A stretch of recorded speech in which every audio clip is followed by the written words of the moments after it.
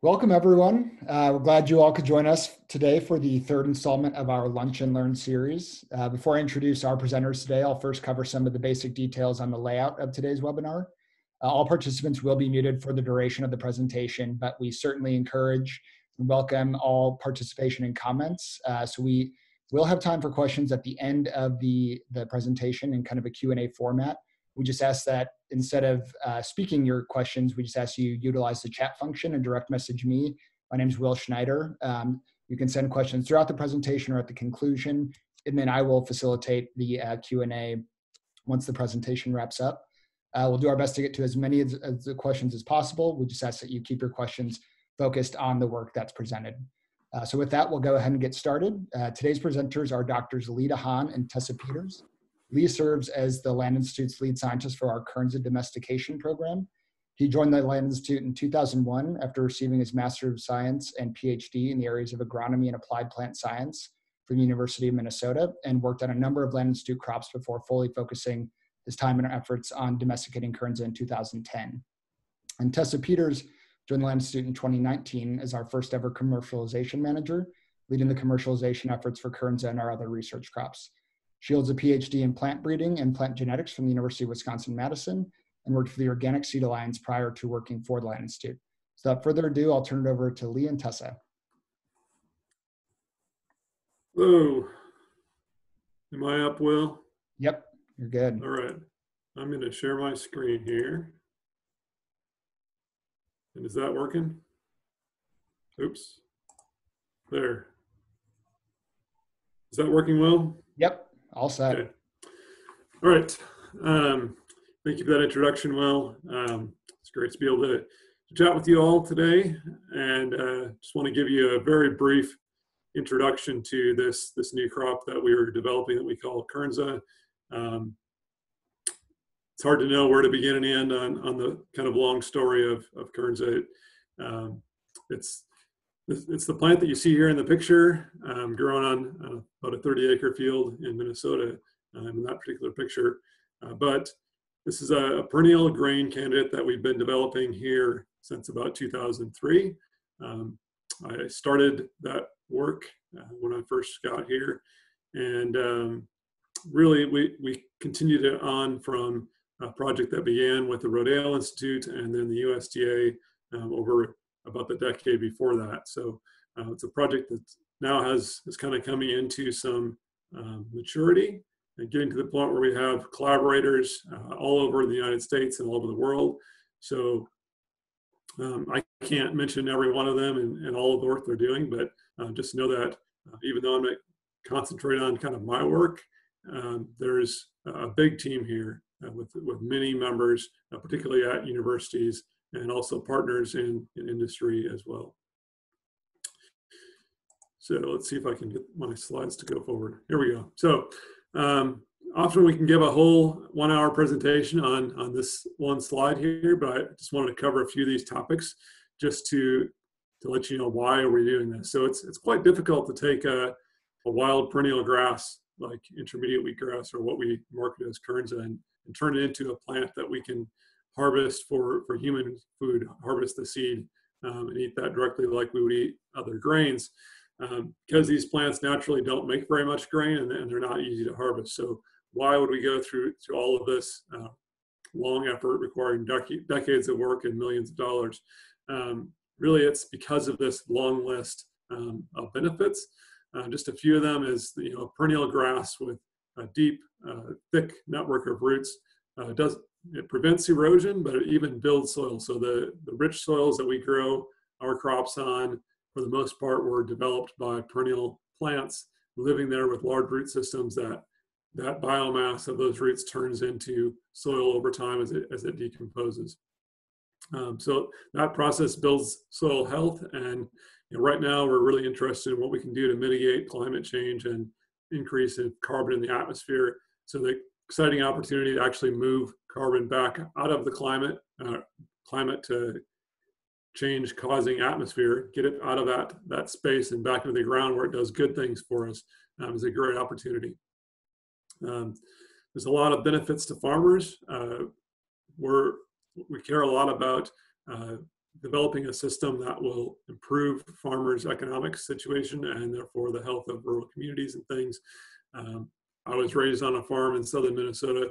Uh, one of the, main reasons I wanted to go into developing perennial grain crops is be able to benefit farmers at the same time as doing good things uh, for the environment and also feeding people all at the same time. So um, once these perennial plants are in place, they can do a great job of excluding weeds and uh, reducing the cost uh, to control weeds. They also, these big deep roots hold on to the fertilizer that's put there.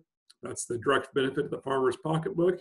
Um, nitrogen fertilizer is lost at about a rate of 50% of what's applied goes into the, the water or into the atmosphere and not into the plants. That's a big cost to the farmer, but it also causes a lot of trouble. So as that nitrogen makes its way into the groundwater, it makes it undrinkable uh, for, for humans, for instance.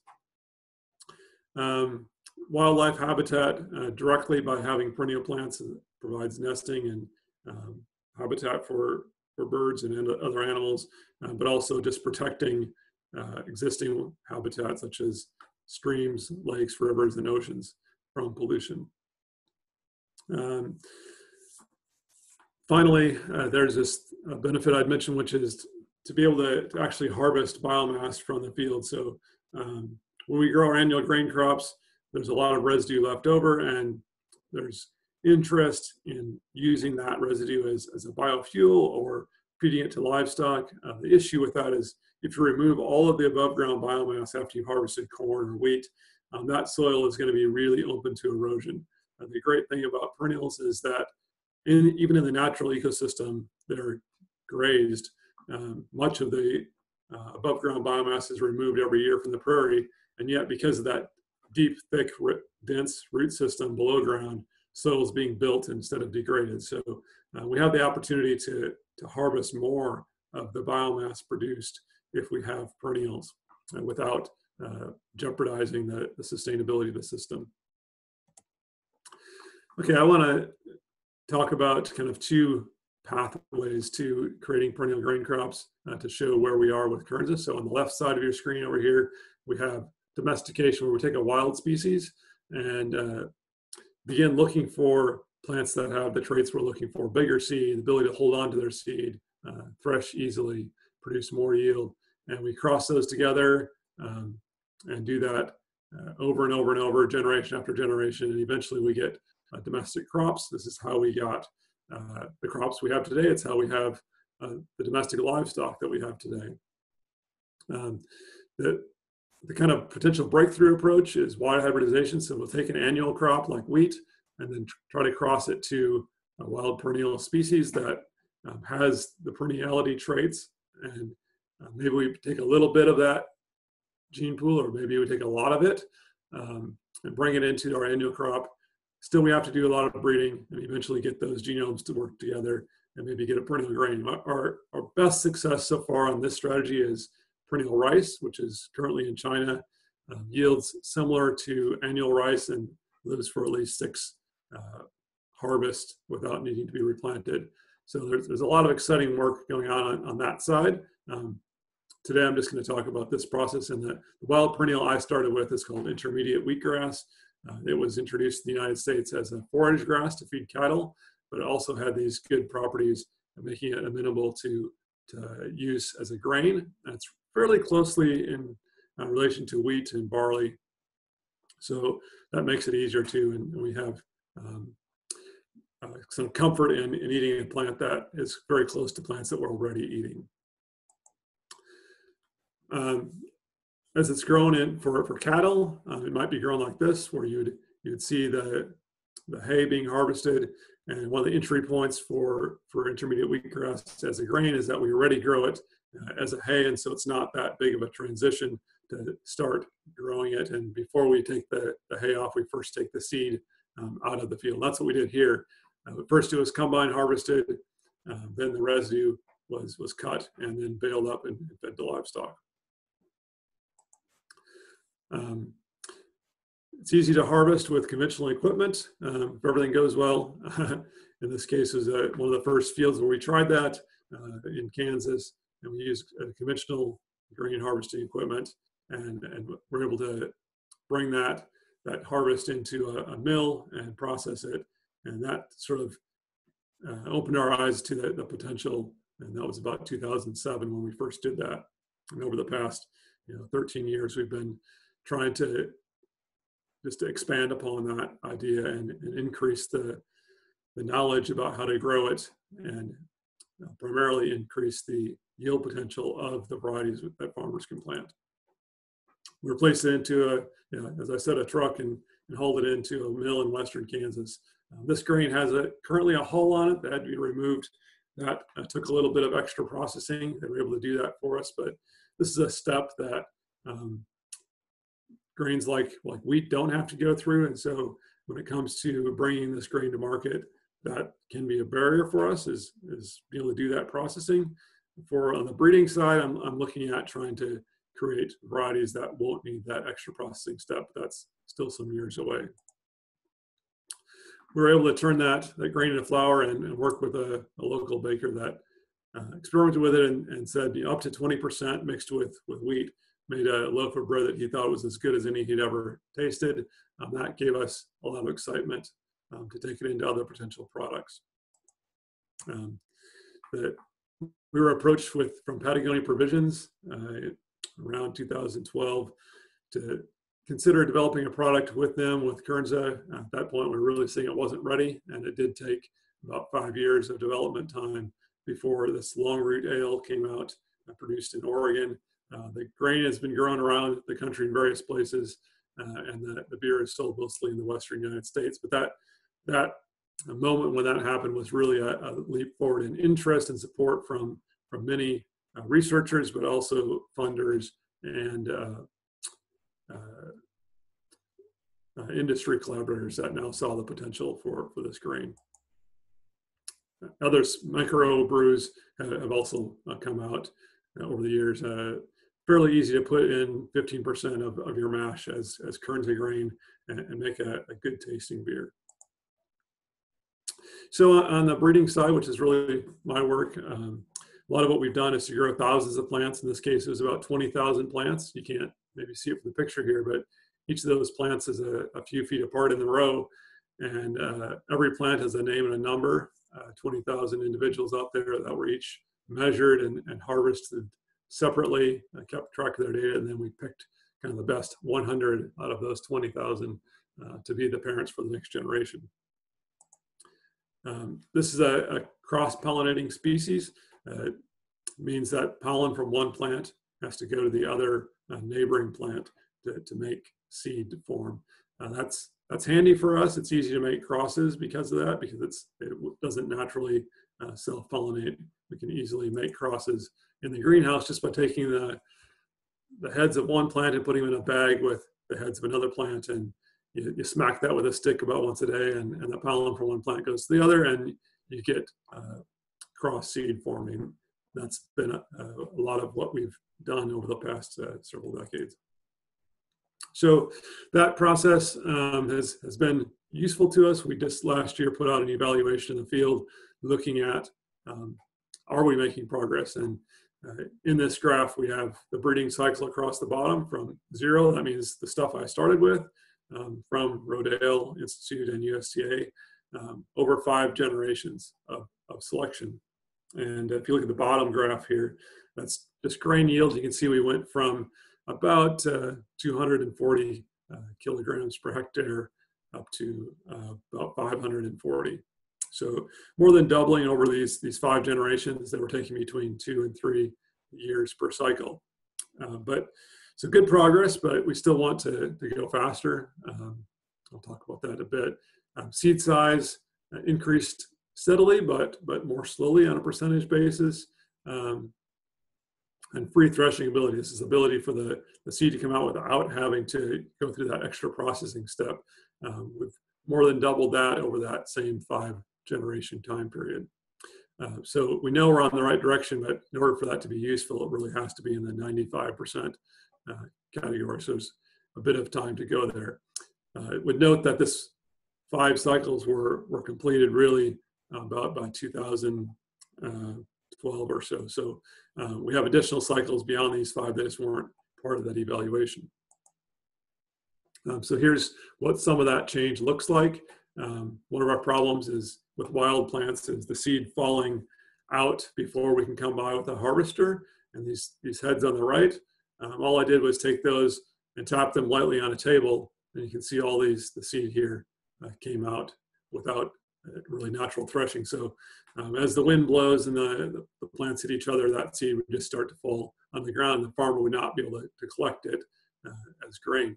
Whereas the plant on the right is highly shatter resistant. I did the same smacking of, of the heads on the table and you see all the, all the grain remains in the head. You can see these little grains here um, that, that are in there and uh, there's plenty of seed there, but it has to, it's gonna take a little bit more aggressive uh, threshing to, to get the seed out. And that's, that's what we want. We want the seed to come out when we want it to, but we, we don't want to come out before we're ready. That's kind of a, a fine balance that these domestic plants need. Yeah, that's the next, the next thing is, is free threshing seed. Um, some plants are like these on the left where you can see there's a papery hull naturally around the, the seed. Uh, in a natural environment that helps to protect the seed, it helps the seed disperse. Uh, but in, in, a domestic plant, we're going to provide those those services. So we're going to help that plant get its seed where they need to go, which is our fields.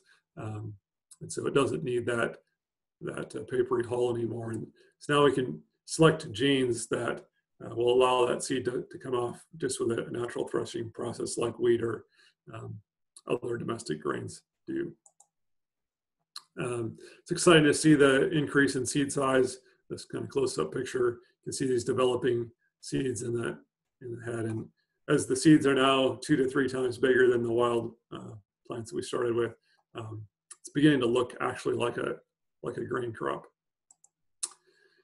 So we want to um, accelerate this uh, if, if possible and um, not take uh, another 30 or 40 years to get to a domestic crop that yields as much as wheat. And so we're using this technique called uh, genomic selection. If you look at um, this cycle shown here, um, this is all happening in one year. So we might start here at the bottom center. We, we plant um, uh, 100 of our best plants from the previous generation in the greenhouse, um, let those intermate, and then we'll plant back uh, by late summer 5,000 seedlings.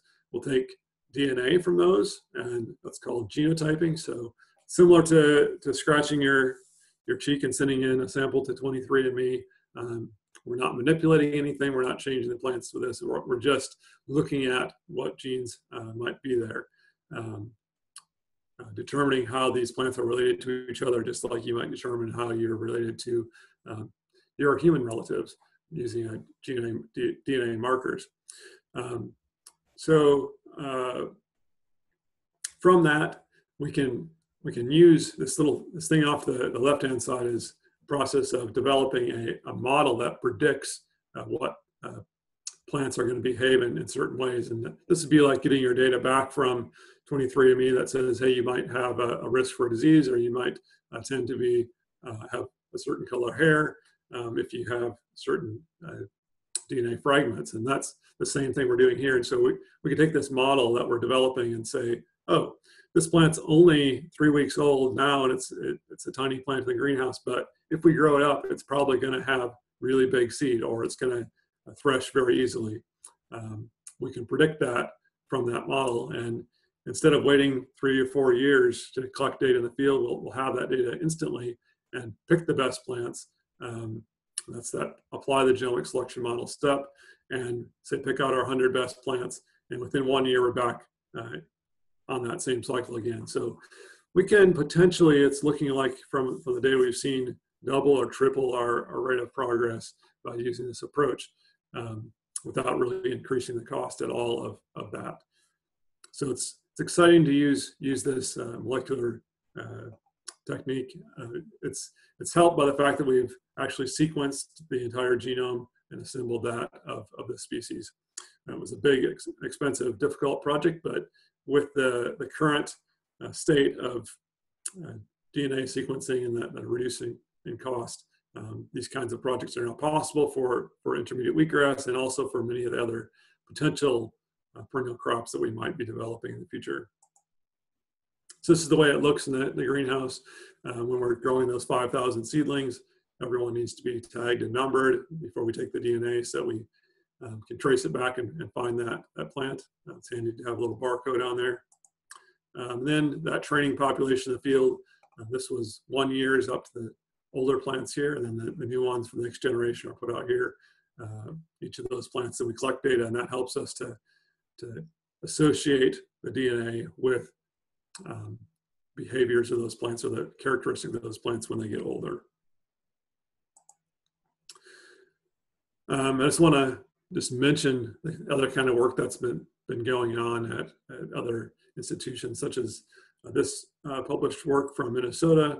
Um, this is looking at nitrogen fertilizer rates at different locations, um, and there were these curves are showing that yeah, it's about 70 kilograms per hectare of nitrogen. We're giving the best seed yields. Um, you can see that seed yields though decline over years. So the first year we had yields 750 to 1,000 kilograms per hectare, but as we go, um, that falls off rather quickly. So um, this is one of the um, primary research directions that uh, management is taking right now is trying to consider how to sustain that yield and also breeding for sustained yield, uh, perhaps intercropping with, with other species, um, renovating those stands, uh, or just utilizing the forage differently might continue to uh, stimulate uh, grain yield over time.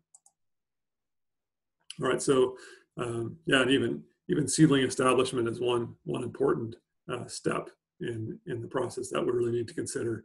Um, those plants have to just get from the seedling stage or seed stage to seedling stage, and that establishment um, requires a whole you know, another array of, of, research activities.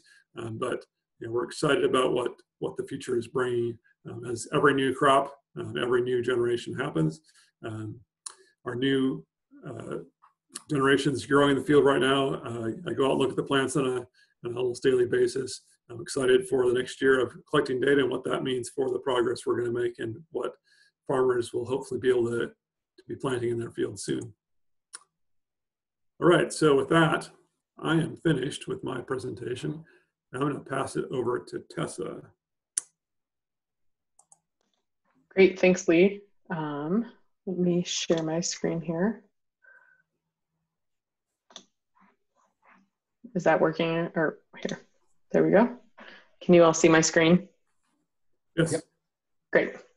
Um, so I'm Tessa Peters, and I'm going to talk a little bit about bringing Kernza to, to market. So Lee talked about um, some of the research behind how this crop has been established and things like that. And then I'm going to talk about how we take this research project and continue the experiment um, to develop the supply chain and the products that you might be able to find on the market.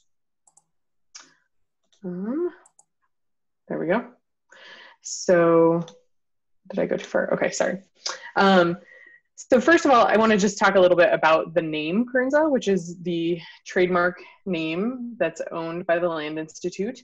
Um, it is a portmanteau of the words kernel, which is the seed of a cereal grass, and kanza, which is the native tallgrass prairie in northeast Kansas, and it's also an alternate name of the Kaw people. So this is um, this is how we came up with the name for for this grain that's that it that comes from intermediate wheatgrass, but that we sell as um, an, under this trade name anytime we are we're making a product that contains the grain. So as I said, it's a trademark owned by the Land Institute. The reason that we use this trademark is, is to allow our commercial partners to differentiate their products in the marketplace um, so that they can tell the story of perennial agriculture, which is very different and, and is a whole other step forward from a lot of the regenerative practices that we hear so much about. Um, so perennial goes one step farther. It also allows us to to control a little bit the the narrative and the storytelling and make sure that the livelihood for growers is part of that storytelling and that they get to have input and so do all of the stakeholders along along the way so we talked about extra processing steps in terms of um, these these grains needing to be dehulled. So we work along the stakeholder um, along with all the stakeholders to to ensure that they have input about how the supply chain operates and how the products should be used um, it is it allows us to also ensure that the grain that goes onto the market is high quality and that the products that go onto the market are truly unique and that that folks can tell the story of that Additionally, it allows us to protect the research investment of all the partners. So this table just shows the number of people who are working or the number of institutions that are working on on these different aspects of growing Kernza that are so important to our understanding of how to bring this grain to market. So everything from you know breeding all the way through to the social sciences and economics, which are so important to the growers. So this use of the trademark helps us to to gain um, royalties and annual fees that go back into ensuring that this kind of research continues to be funded and continues to have um, value for the institutions that are doing doing the research. We we administer the trademark at four different places along the supply chain. So we have a trademark license for seed growers, for grain growers, um, for handlers. So that includes um, processing, shipping. Uh, we don't have a distribution, aggregation, those kinds of activities in the supply chain. And then also for buyers. So those would be folks who are doing milling and then selling, selling, you know, flour direct to consumers. It's also food companies or restaurants and bakers um, who are selling products to consumers as well.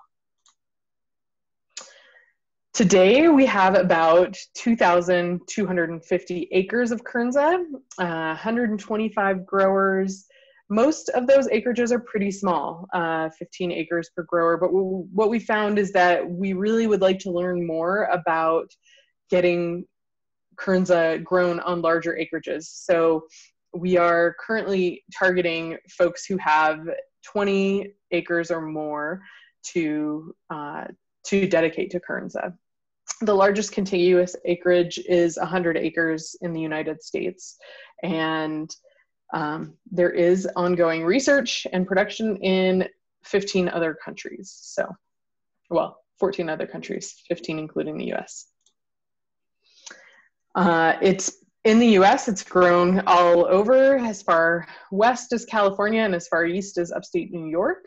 So we're learning a lot about how it grows in different climates. We're still trying to trying to determine what what its geographic limits are. We know that it needs cold temperatures over the winter in order to form grain, but we don't know what the southernmost boundary is. We don't know what the northernmost boundary is. Um, it's also being grown at at really high latitudes um, in northern Sweden, and there's a breeding program there for for that kind of environment most of the US acreage is organic um, or transitional, and that is largely driven by the market. Most of the folks um, who are producing products and, and getting those on the market are interested in organic grain. So there are some conventional acreages, but right now it's mostly organic and transitional. Um, is still an experiment, all the way from the field to the plate. There are there are folks who are trying to develop the food science and understand the nutritional pro- profile of this grain, um, what affects the protein, how different how the gluten works. All of these things are still up in the air. We're experimenting with everything from how to plant it to make sure that it, it gets the best management, like Lee was talking about, all the way through um, how how to use it in different kinds of bread products and crackers and things like that. So if we think about the timeline of domestication, we're thinking about 10,000 years ago, we see that modern or that major crop domestication began. And 60 years ago was the Green Revolution, and now 15 years ago, Kernza domestication began. So we have this this really big gap of 9,985 years to uh, to bridge. So that is that is something that I try and make everyone keep in mind that the supply chain is new, the harvesting equipment and how to set it for this crop is all something that we're still learning. We know it can be done, but we're still learning how to make it the most efficient possible supply chain that we can. And my slide is not advancing. Okay, here we go. Um, so the goals of commercializing Kernza are to have supply meet demand. Like like any product, you have this demand which you see on the right here, which is currently outstripping the supply. We have a lot more folks who are interested in using Kernza, and that's why we're trying to scale up acreage to to meet that production um, and that demand. We want while we're interested in scaling it up, we want to make sure that it's a transparent process that that all of the growers are are able to talk to one another about these best management practices and that things aren't um, proprietary and and so that we are able to learn the most possible from all of the partners along the way we want the supply chain to be redundant so that you know if anyone person or any one institution decides to get out of the game, we're able to continue. Um, we're able to continue moving forward without that being a huge disruption. We want it to be diverse. We want large growers, small growers. We want um, geographic diversity, those kinds of things. Um, but we want it to be coordinated and cooperative. We're not in a in a place right now for there to be a highly competitive marketplace. So far, we're, we're in that pre competitive um, mode. And of course, all of the folks along the supply chain have to be innovative because this is such a new product and, and um, so many things are have yet to be discovered. So I like to look at this. Lee talked about in 2010 was kind of when he dedicated himself to Kernza. So by 2013 is when we talk about the commercialization sort of starting. He, he mentioned, you know, that it took about five years for Patagonia Provisions to um, develop their their long root ale, and we call that the wild wild west. There were small acreages, um, a small number of farms. The folks who were adopting this crop were risk takers. Um, the funding was philanthropic and, and it was very much vision led. People were really interested in understanding how we might bring perennial agriculture um, to, to the forefront of the consumer's mind. And now we're in this pilot phase where we are expanding the number of farms. We're also expanding the number of acres that a single farm might might have. Um, we're at the very beginning of this, so so we're as I said, we're still in the 100 acres being the largest contiguous acreage um, that that is being grown in the United States.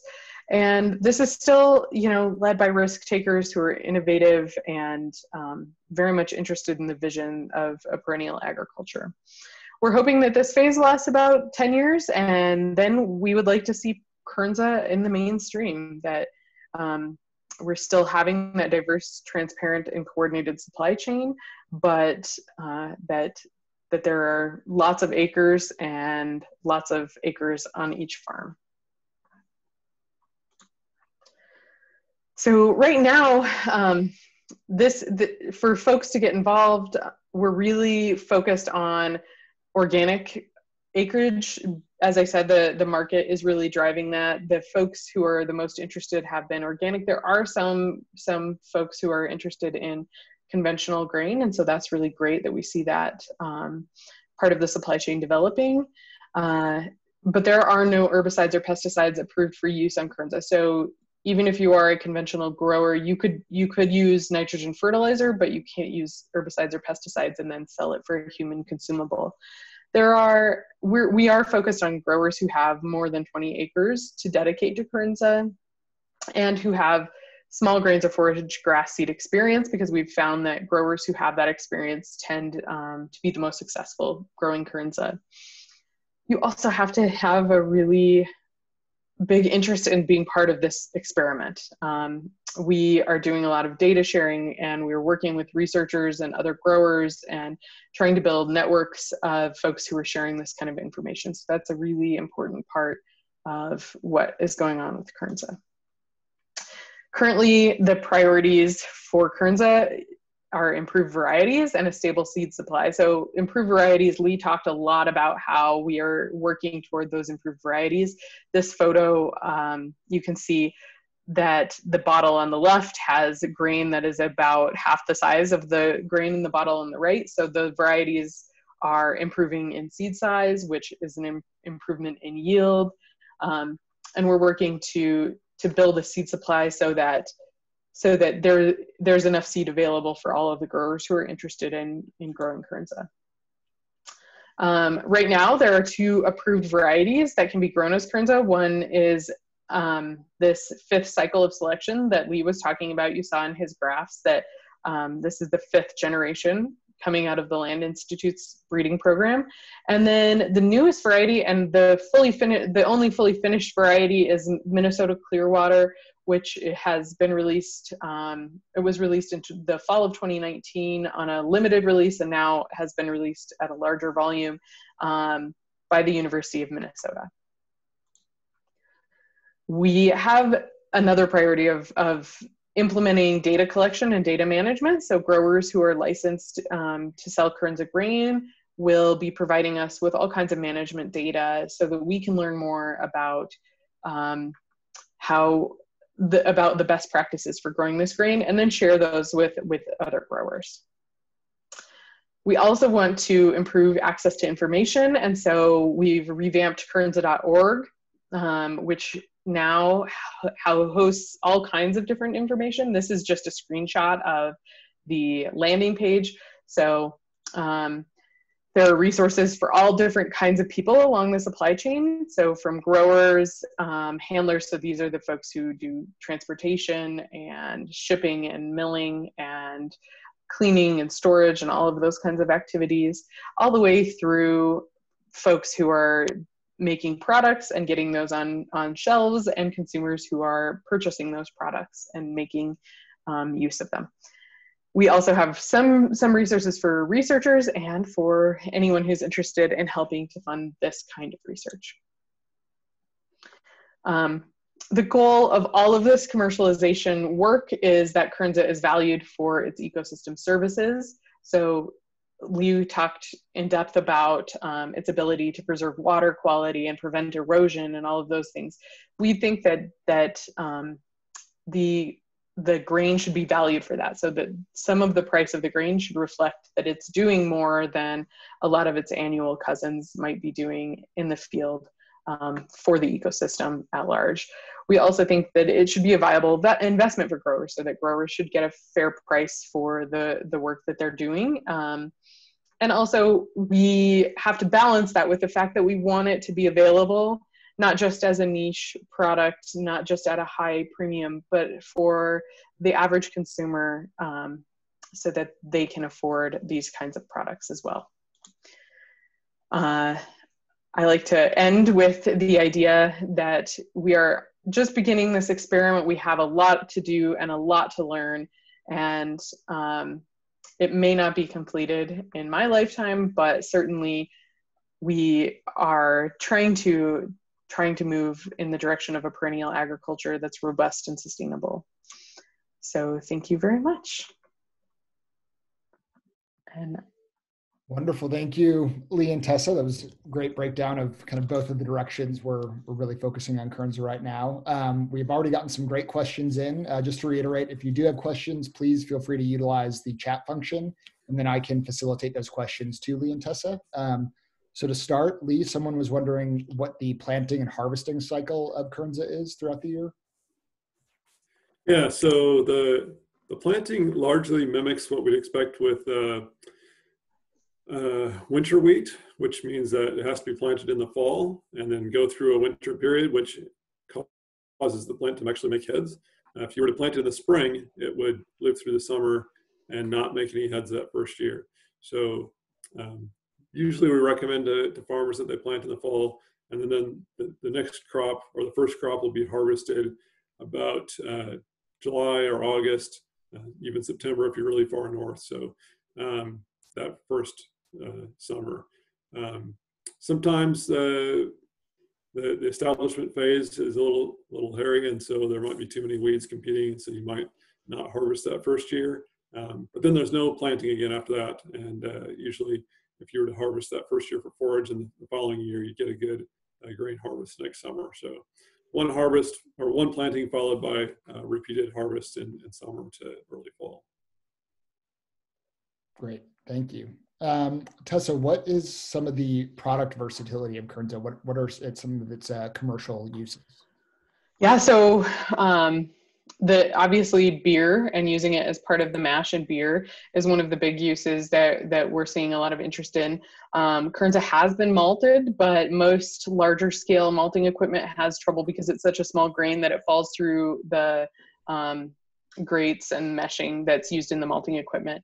Um, but that is definitely an interest and that it, that research is kind of ongoing. Um, beyond that, we there are folks who have products like a sprouted grain cracker from uh, Columbia County Bread and Granola, all the way to bakers who are making bread and loaves of bread. Um, Birchwood Cafe has a Car- Kernza Carmelita bar that's on their menu. Um, those are the big those are kind of the big uh, things oh and of course i should should mention that cascadian farms has done a done a run of uh, Kernza toasted honey toasted Kernza cereal, and they're building their supply to hopefully launch that um, nationally. Great. And similar to that uh, question, kind of piggybacking off of that, what is the taste profile of Kernza? Yeah, there. So the taste profile, it's nutty and um, personally i think it's really delicious. I, I started cooking with some that i purchased at prairie festival and i've been like really amazed with the results. It's very delicious. Um, it's sort of nutty. People can also sometimes say that it has a can have a grassy profile. I don't usually get that. Um, i don't know lee you have the most experience cooking with it and and working with it yeah, it, it, can be kind of surprising at times what flavors come out. It's not, um, it depends upon the recipe and, and also even upon the, the, way the grain was grown or, or handled. There can be kind of different flavors that, that pop out of it. Um, it doesn't have quite the same bitterness of, of whole wheat. Um, usually it has, mm-hmm. has other flavors in it. Um, sometimes uh, you can get a, even a honey smell coming out when you, when you bake with it. Um, we, we had a, a test baking with some researchers at the University of Minnesota. They made some cakes and uh, served it at a meeting, and people were insisting that it had honey and um, and cinnamon in it. And there was no honey and cinnamon in the recipe, but it tasted like it was made with honey and cinnamon. So um, you have that kind of spicy cinnamon sometimes, and, and often that honey flavor. Um, so, but other time, yeah, it really really depends on the recipe and the way it's handled. So um, there's there's a lot of a lot of excitement for for chefs to try something new, and that's why it's you know it's it's fun mm-hmm. because you don't no one quite knows uh, exactly what it's going to taste like when you put it in this new recipe. Making me hungry. Um, Lee, another question. Uh, can you talk about some of the intercropping experiments going on? I know you work a lot with the legumes program, but kind of go into what you're looking at in that direction? Yeah, so um, from the kind of agroecological perspective, this plant is a grass, and um, it, as a grass, uh, even compared to other grasses, it it likes to use a lot of nitrogen. You can see that picture behind you. That's a dark green colored plant, and and that that means it's really good at capturing the sun's uh, rays and using photosynthesis to to make sugar. But um, that green chlorophyll has a lot of nitrogen in it, so um, that has to come from somewhere. It has to come from um, the organic system, either from uh, manures that may be applied or rotation from a, a previous crop um, or intercropping, uh, say a legume. So there's uh, plants in the legume family, such as beans or alfalfa, um, have the unique uh, characteristic of being able to have a symbiosis with bacteria that are able to capture nitrogen out of the atmosphere and turn it into nitrate that, that plants can use directly. So it's a, um, really a way to get sustainability into the system because purchased nitrogen is expensive, even if it's uh, even if it's manure these days, it's quite expensive to to obtain. And uh, uh, fertilizers, conventional fertilizers, are very expensive.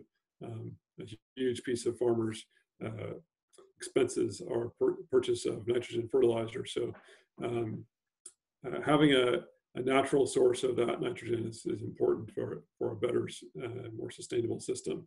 So how to do that is, you know, might be rotating a, a legume um, from one uh, cycle to the other. Um, as a longer lived perennial, we would hope to be able to add nitrogen as, a, uh, as the plant develops over years. And so it would be great to be able to put legumes in between uh, grass plants and figure out some way to balance that management. Um, so the, the, the primary legume being researched is, is alfalfa. It's the most productive and highest nitrogen fixer really we have available as a forage uh, legume. Also clovers and, and, things like that. So um, playing with different species, different arrangements, and different managements are, are, a lot of the research going on in numerous institutions uh, around the country.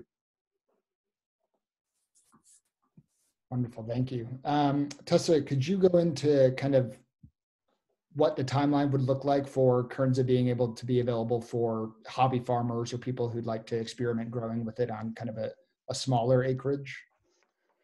Yeah, I think we're probably a couple of years out from that. Um, we we would have to find first of all develop a relationship with a come with a seed company partner that wanted to serve that market, um, and we would also have to have a seed supply that was that was stable and robust enough to offer that um, to to offer those kinds of markets um, an opportunity.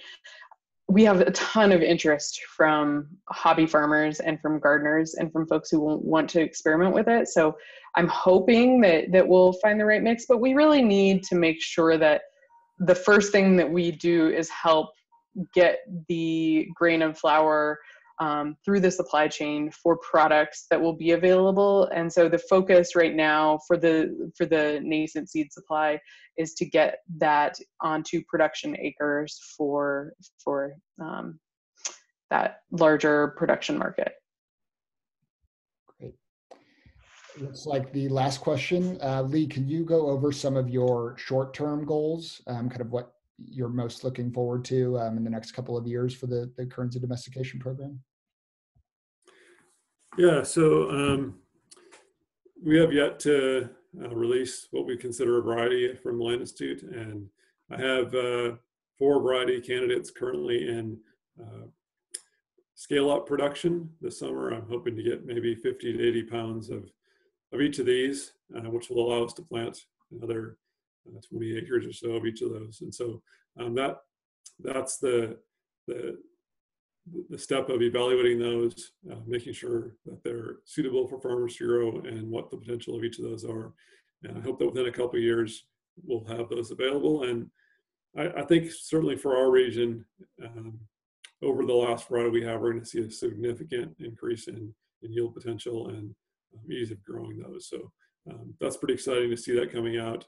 Um, there's also just the um, continued to results of this genomic selection to, to see how fast we can move traits um, that are important for farmers.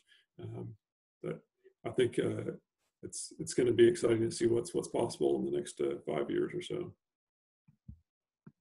Great. Well, it looks like that does it for all the questions you received. Um, if you have any other questions that pop up after the fact, please feel free to reach out. You all should should have my email from getting the Zoom invite. So please reach out and I can answer it for you or get you in touch with Tessa and Lee. Um, but thank you otherwise for joining us today. If, if you'd like to learn more about Kernza, I know Tessa gave you a little preview of the recently launched website. I would definitely encourage you to check out kernza.org. It's um, the premier resource for all things Kernza, whether you're you know looking to learn more about the domestication program or more th- things along the supply chain. Um, it's definitely the the number one resource. So I definitely encourage you looking at that. And otherwise, um, please stay in touch on our website. We're we're intending to do more of these webinars with other lead scientists of ours. So definitely uh, stay in the loop via social media and our website. And uh, other than that, we hope you have a great rest of your day and uh, a nice rest of your week. Thank you all. Thanks, Tess and Lee, one more time, and we'll see you all later. Thanks. Thanks. Thanks, everyone.